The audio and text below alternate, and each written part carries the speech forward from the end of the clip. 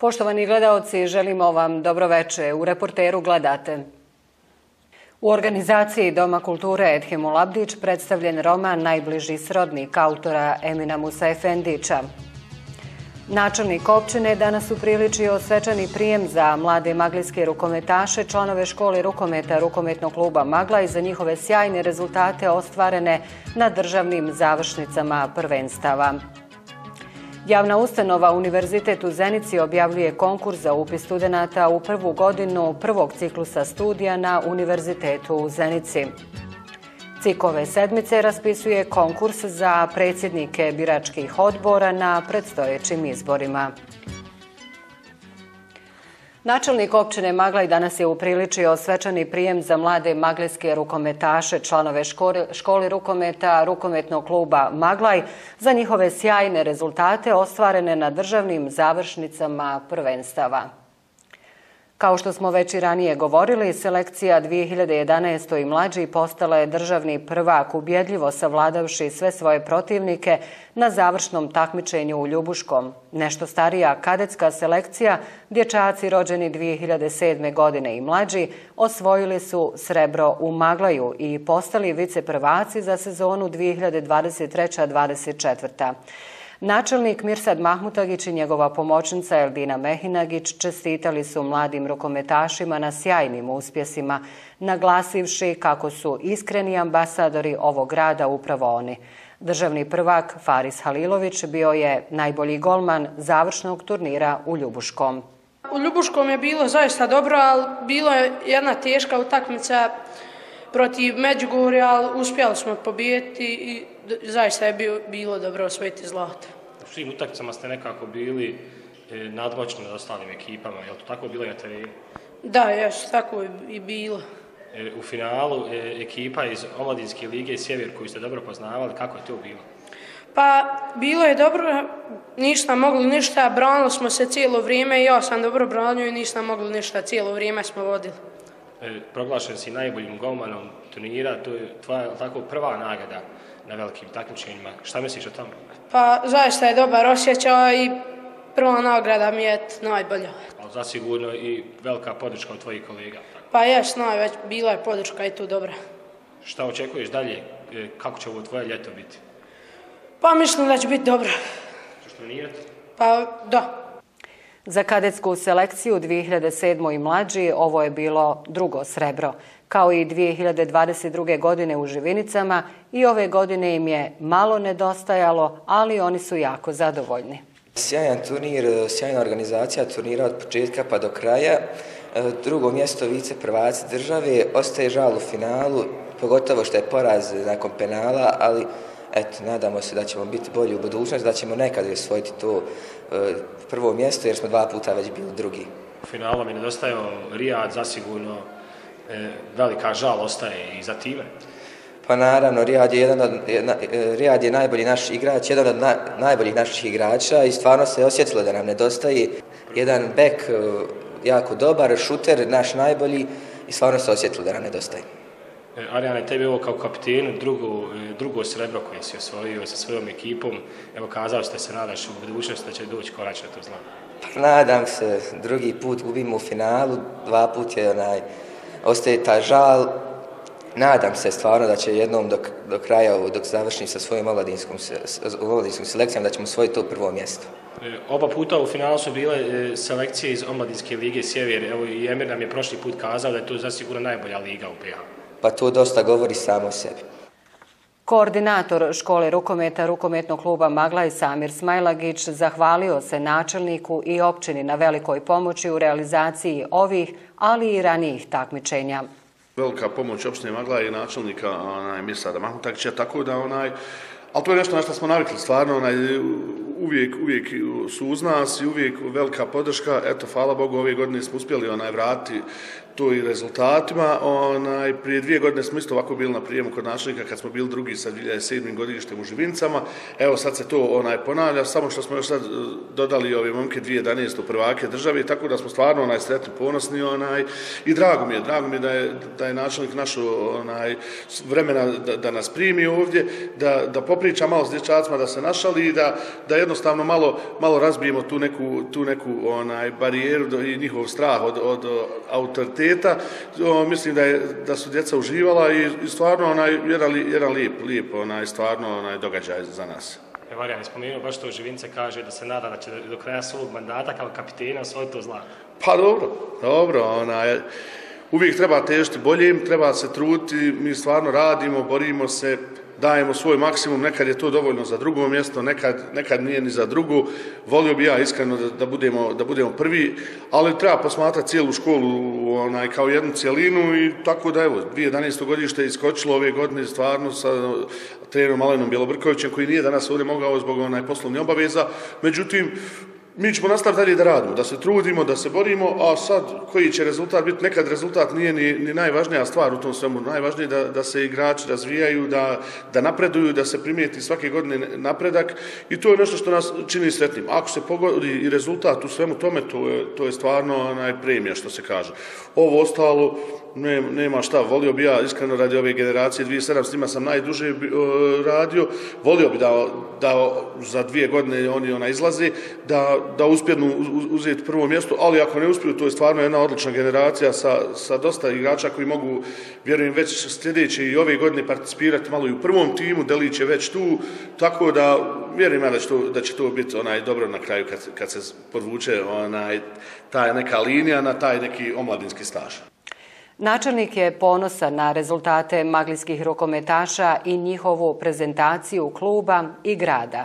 Zaista dva dobra rezultata, sjajni momci iz maglijske rukometne škole, dakle na, na dva takvičenja su osvojili na jednom prvom mjestu u Ljubuškom, ovdje oslabljena ekipa zbog povreda, osvojili su drugo mjesto koje isto tako sjajno kao i prvo, samim tim što, što su u finalu izgubili praktično na kraju na sedmjerce, ovaj, zaista ovo veliki rezultat za rukometni klub Magla i naravno za čitav Magla i vidim da je to jedna sjajna mlada ekipa ovaj, koja, koja se druži, koji su jedinstveni, svakako očekujemo da oni dalje nose na krilima Maglajsku školu rukometa i evo nekoliko njih su već priključeni senjorskoj ekipi.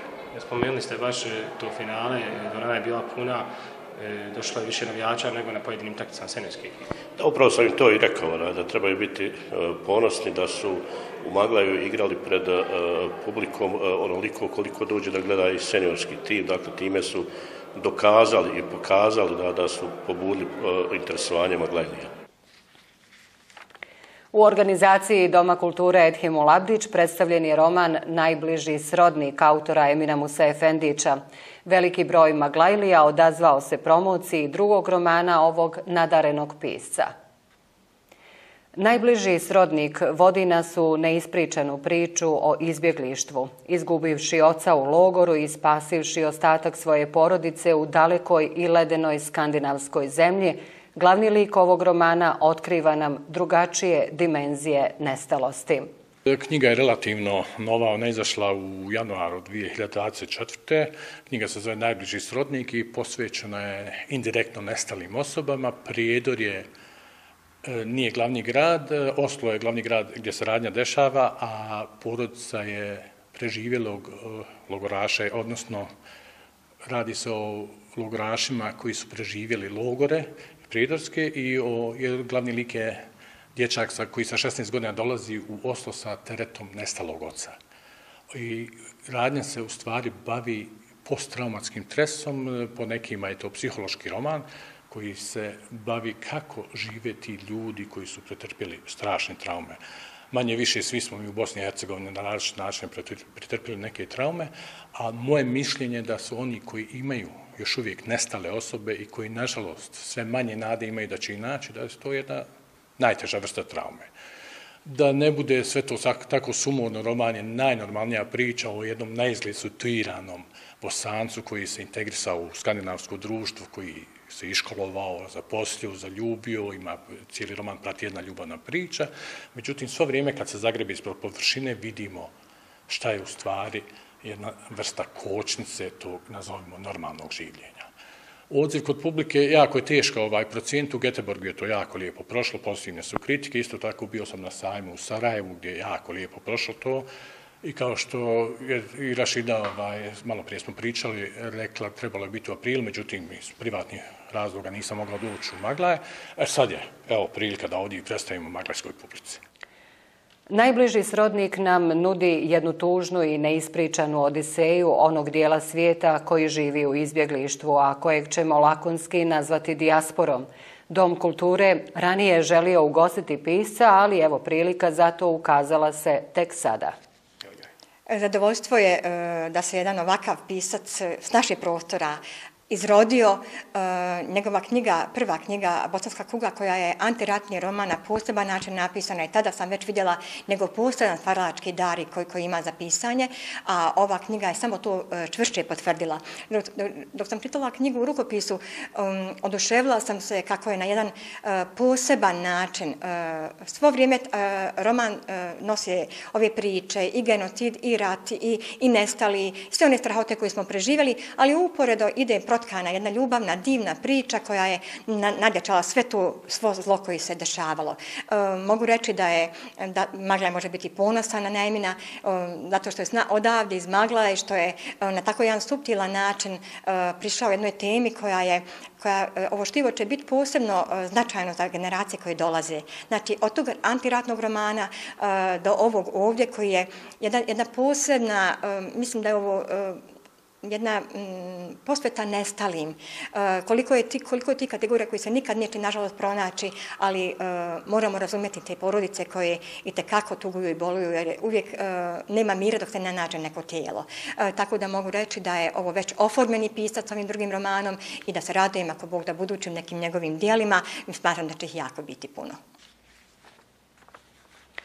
Javna ustanova Univerzitet u Zenici objavljuje konkurs za upis studenta u prvu godinu prvog ciklusa studija na Univerzitetu u Zenici. Konkurs za upis studenta u prvu godinu ciklusa studija na Univerzitetu u Zenici u akademskoj 2024. i 2025. godini. Prvi upisni rok traje od 13. juna do 1. jula. Rangiranje kandidata i prijemni ispiti na fakultetima Univerziteta u Zenici obavit će se od 2. do 5. jula, a na Medicinskom fakultetu od 2. do 8. jula. Fakulteti Univerziteta u Zenici će na svojim oglasnim pločama i web stranici dati potpune informacije o mjestu i vremenu predaje dokumenata, kao i polaganju prijemnih ispita na studijskim programima Fakulteta Univerziteta u Zenici gdje su predviđeni prijemni ispiti. Upis primljenih studenta na fakultete Univerziteta u Zenici obavit će se prema planu fakulteta u skladu s usvojenim planom upisa studenta u prvu godinu prvog ciklusa studija u akademskoj 2024. i 2025. godini. Fakultet inženjerstva i prirodnih nauka 65 studenta, mašinski fakultet 82, ekonomski 130, pravni fakultet 90 studenta, Medicinski fakultet 120, Politehnički 95, Islamski pedagoški fakultet 163, Filozofski fakultet 137. Centralna izborna komisija Bosne i Hercegovine do kraja ove sedmice planira objaviti oglas za izbor predsjednika i zamjenika predsjednika biračkih odbora koji će rukovoditi ovim tijelima na lokalnim izborima raspisanim za 6. oktobar. Podsjećamo izmjenama izbornog zakona BiH koji je u martu nametnuo visoki predstavnik Kristijan Šmit. Novina je da od sada CIK BiH javnim konkursom bira predsjednike i zamjenike predsjednika biračkih odbora. U odnosu na raniji period naknade za predsjednike i zamjenike biračkih odbora značajno su povećane. Prema novoj odluci CIKA, naknada za predsjednike biračkih odbora iznosit će 400 konvertibilnih maraka. Zamjenici predsjednika biračkih odbora imaće naknadu u iznosu od 200 konvertibilnih maraka, a članovi biračkih odbora 110, dok će njihovi zamjenici dobiti naknadu od 60 konvertibilnih maraka. Povećanjem naknada CIK BiH želi stimulisati sve zainteresovane u Bosni i Hercegovini da se prijave na javni konkurs za predsjednike i podpredsjednike biračkog odbora. Novina koja se uvodi od ovogodišnjih izbora i ta da kandidati za predsjednika i za zamjenika predsjednika biračkog odbora Između ostalog, ne smiju biti članovi političke stranke, niti obavljati dužnost u organima političke stranke, udruženja ili fondacije, organizacijono ili finansijski povezanim s političkom strankom, niti smiju biti uključeni u bilo kakve aktivnosti političke stranke.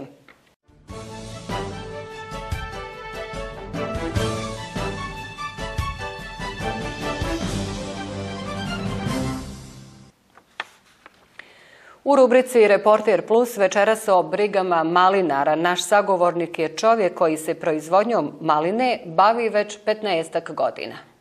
Vremenske prilike, odnosno neprilike, niska otkupna cijena, nedostatak berača, sve su to razlozi zbog kojih malinari u našoj zemlji uništavaju svoje malinjake, a podaci kažu da smo osma zemlja u svijetu po proizvodnji malina. Desetak dunuma na imanju Mujanovića iz Kopica više od deceniju je pod malinom, kupinom i aronijom. Malina dominira. E, kad kažemo Salih Mujanović, to nam je odmah asocijacija na čovjeka koji se e, zalaže da malinarstvo opstane na području Zeničko-Dobojskog kantona ne samo zbog sebe, nego i zbog ljudi koji su vremenu i za nas dali snagu, pare da bi zasadili malinjake. A, malina je takva da jednu godinu hoće, drugu godinu neće. A, Salih, prije svega ovdje smo na vašem imanju. E, da nam prvo kažete koliko duluma ima zasijano ovdje? Pa ovdje ima znači dvije parcele, jedna je znači, nekih devet duluma, druga je šest, nisu potpuno sve zasijane, ali ima nekih sigurno nekih desetak duluma. Tu ima znači i malina, ima i kupina, ima i aronija. Znači negdje dva duluma aronije, kupine također neki dva do tri duluma i onda tako jedno pet do šest duluma maline. I koliko godina se već bavite malinarstvom? Pa već, ovo je možda 13. godina. Znači 2011. 2012. smo počeli, znači eto, prilike tako nekih 12 godina. Iskreno isplatili se. I od čega zavisi to da li će se isplatiti ili ne? A gledaj, svaki posao koji se radi na kraju donese nekakve rezultate. Zaista sa malinom je ono prilično nesigurno jer ona je neka berzanska roba kad se stavi u hladnjače i zamrzne onda ko nam može čekati onda stanje na tržištu odlučuje o cijeni. Uglavnom, znači, neki su ciklični periodi, bude nekih period godina dvije dobra, pa godina dvije, tri loše i tako. To utiče i na to kako se, šta se dešava na terenu. Kad su dobre godine, ljudi malo sade više i kad su loše godine, ljudi ukidaju. Nažalost, imali smo već i za sebe jedno, dva takva ciklusa nekih loših godina i evo sad ove zadnje dvije godine bile su loše, tako da je onaj situacija takva da se smanjuje broj malinara i onih ljudi koji se bave malinarstvom. Zanima one koji su zadržali svoje malinjake. Zanimaju nas prognoze za ovu godinu. A mi smo imali ovu godinu za sebe zaista vrlo lošu. Cijena maline je bila od 2,5 do 3 marke.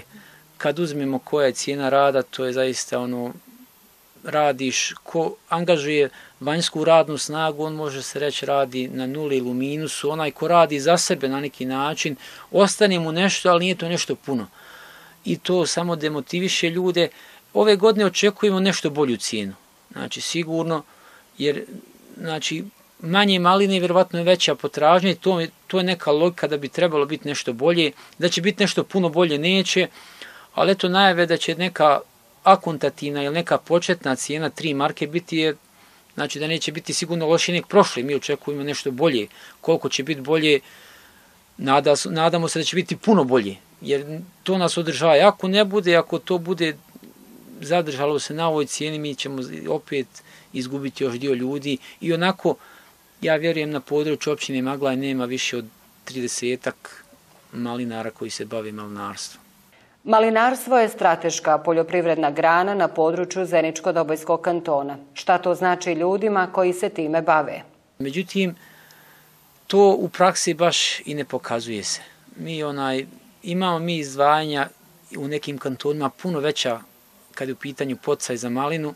Imamo normalno i kantona na području federacije gdje su manja izdvajanja kad je u pitanju poticaj. Ali sve u svemu onaj ako želimo zadržati ovu proizvodnju na ovom nivou, ministarstvo bi se moralo više uključiti, barem u ovim godinama kad je situacija teška.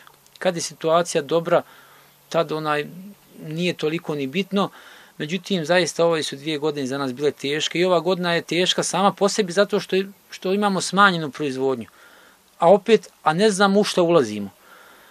Ministarstvo je u svojenom programu planiralo poticaj do 50 feninga. Znači, Či onda to faktički ne mora značiti 50, može to biti puno manje.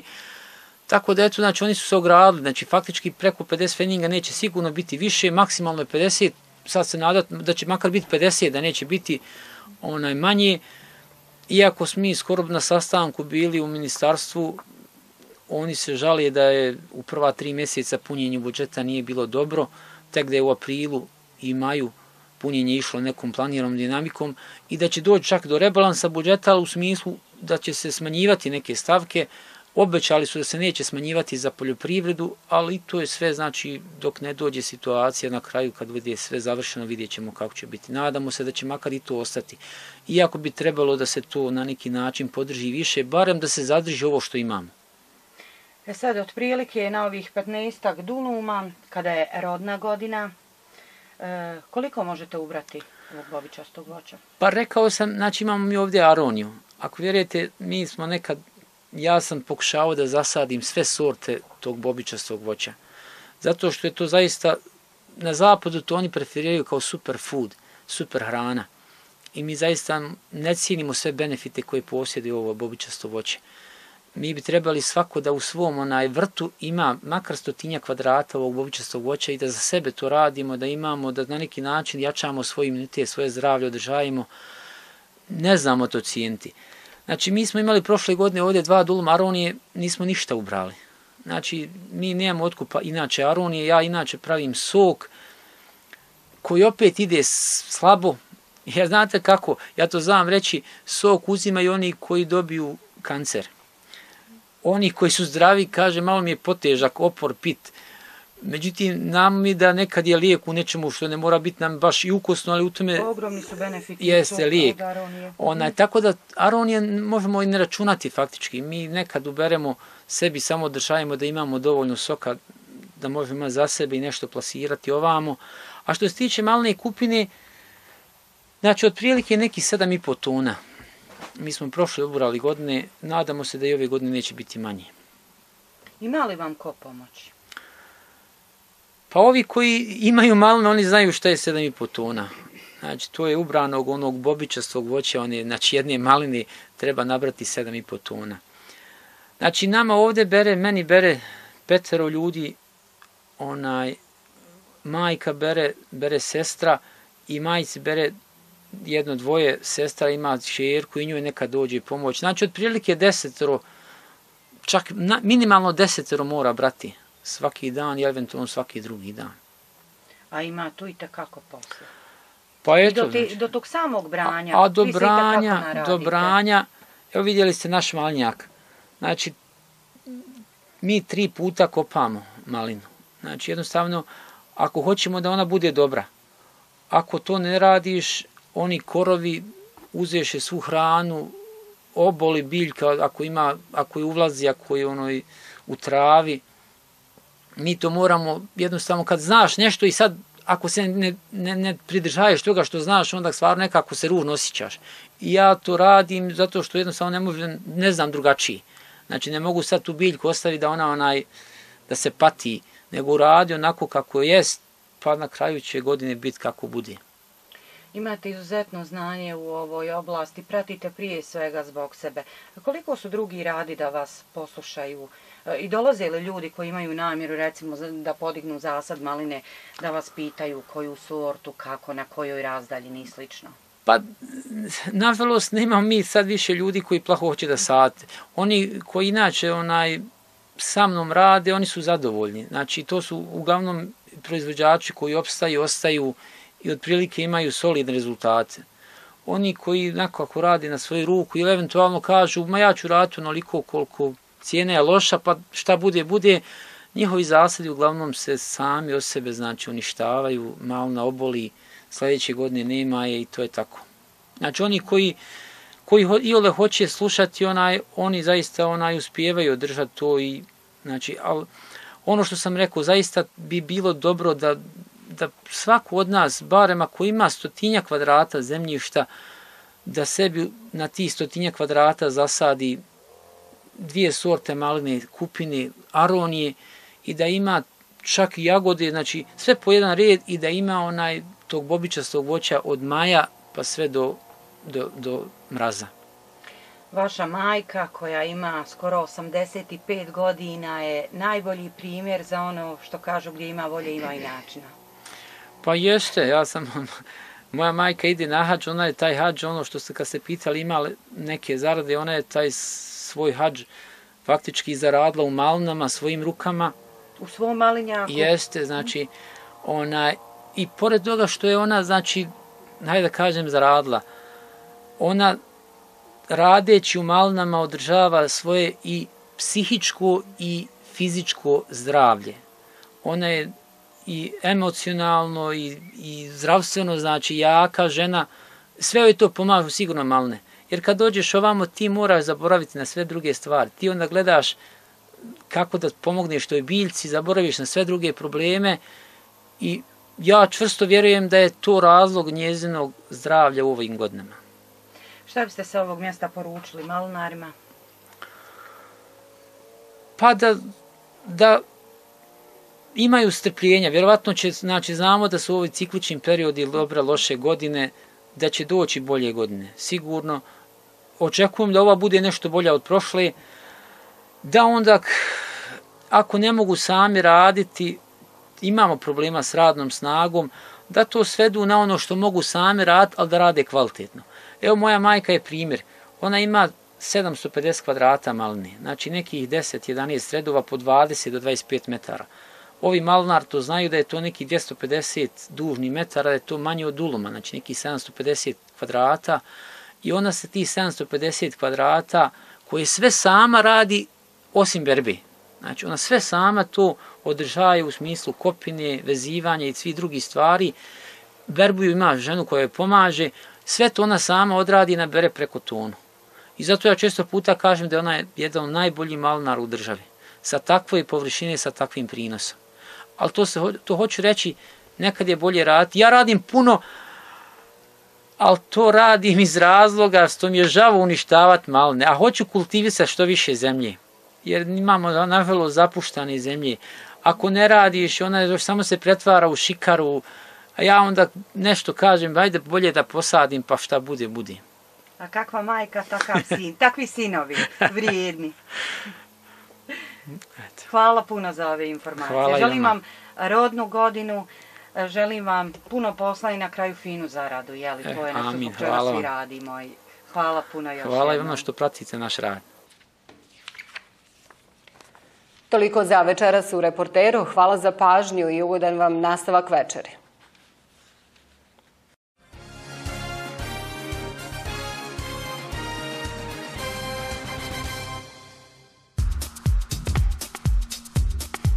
Sjajnu ponudu tehnike potražite u Bingu. TV LED 40 inča JPE 349, samostojeći ventilator 3990, električni romobil Xiaomi 629 km. Ostatak ponude potražite na bingobih.ba.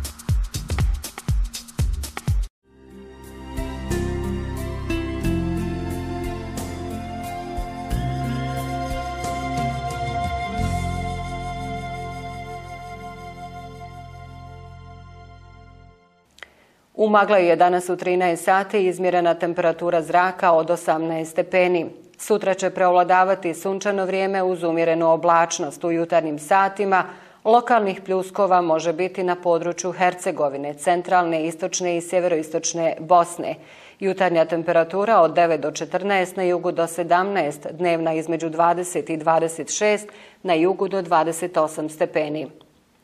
Biometrološka prognoza je nepovoljna. Nestabilne vremenske prilike praćene padavinama loše djeluju na hronične bolesnike i meteoropate. Moguće su reakcije na promjenu u vidu reumatskih bolova, nervoze i glavobolje. Izbiham kapeluju na vozače da voze maksimalno oprezno i da obavezno drže odstojanje između vozila. Molimo i ostale učesnike u saobraćaju da budu oprezni i da poštuju sve saobraćajne propise. Brojne su dionice gdje se izvode sanacioni radovi i gdje je saobraćaj regulisan privremenom saobraćajnom signalizacijom. Zbog radova na sanaciji škarpi i nestabilnih kosina, obustavljen je saobraćaj na magistralnom putu Jajce Crna rijeka. Vozila se preusmjeravaju na put preko jezera i Mrkonić grada prema Crnoj rijeci. Na graničnim prijelazima promet putničkih vozila protiče uz kraća zadržavanja.